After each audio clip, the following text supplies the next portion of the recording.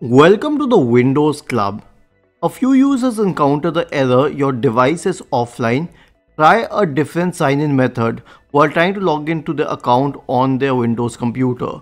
In this case, you can try the following solutions. First of all, you surely need to verify your user ID and password because if they are incorrect, then you will not be able to log into your system no matter what you try.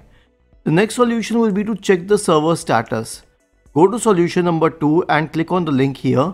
This will lead you to a page which displays the server status of all products associated with Microsoft including Windows. The third solution will be to reset the network settings. Right click on the start button and select settings from the menu. Go to the network and internet tab on the list on the left hand side.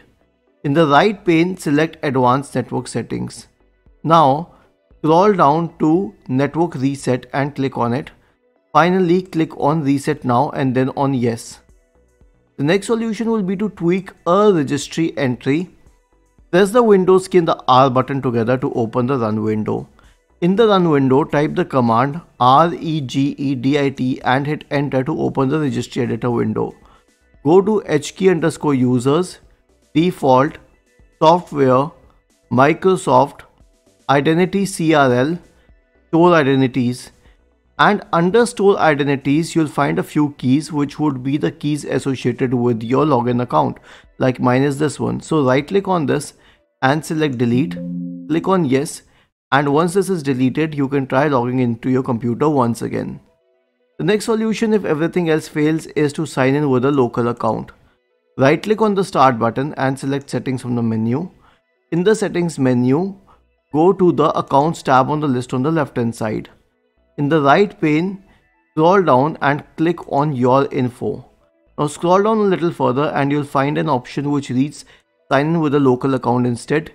Click on it, read the disclaimer and then click on next. Enter your PIN and you will be able to sign in with your local account. The last solution is to troubleshoot in the clean boot state. Press the Windows key and the R button together to open the run window. In the run window, type the command msconfig and hit enter. This will open the system configuration window. Go to the services tab. Check the box associated with hide all Microsoft services. If any of the services checked, please click on disable all. Finally click on apply and then on OK and restart your computer. I hope this helps and if it does, please feel free to subscribe to the channel. If it did not, then please let us know in the comment section. We will try to investigate it further. Thank you for watching this video and have a nice day.